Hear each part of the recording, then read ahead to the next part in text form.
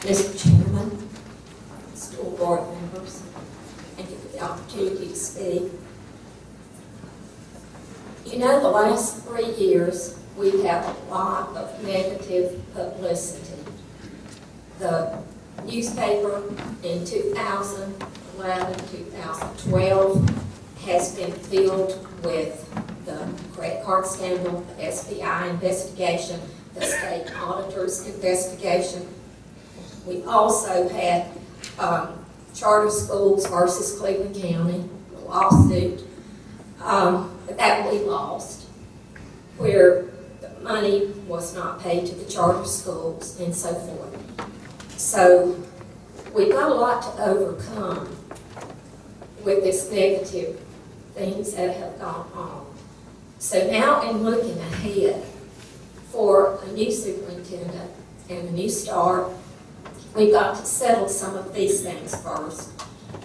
But I noticed in a January 28 newspaper article, when you all were interviewed by the Star, you were asked the question, what would you like to see in a superintendent?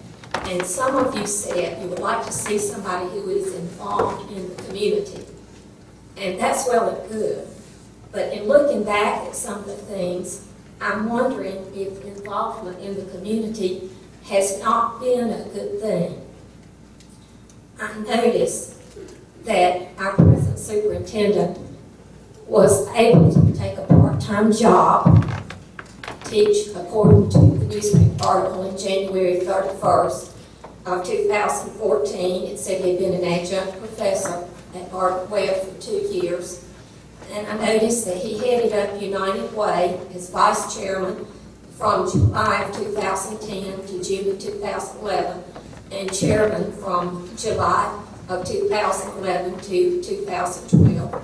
He headed up Cleveland County Chamber as vice chair from January of 11 through the whole year, and as chairman January of 2012 for the whole year.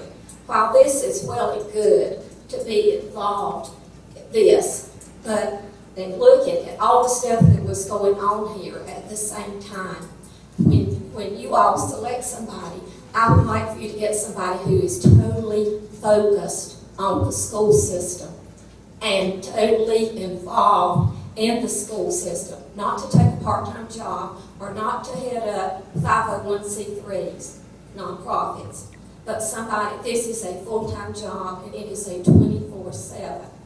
And that is my wish for the superintendent, is to see somebody whose focus is totally there. Thank you. Thank you.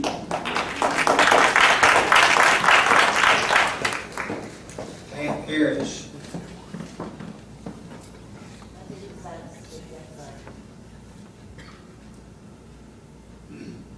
Sorry, you- your name's on the list, Ms. Harris, I'm sorry. Uh, But that's okay. I just registered, that's all. Oh, okay, all right, no, no, no problem there, no problem. That gives more time for others to participate. Thank you. I may be pronouncing this wrong, uh, Bush, is that correct or am I wrong?